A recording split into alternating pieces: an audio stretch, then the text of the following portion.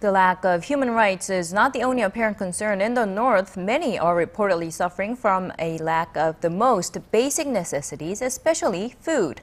The World Food Program says the average daily portion of food distributed to North Koreans was 250 grams in August. This is the lowest amount provided in three years, and it's not even half the amount North Korean authorities have set as a goal, which is just shy of 600 grams.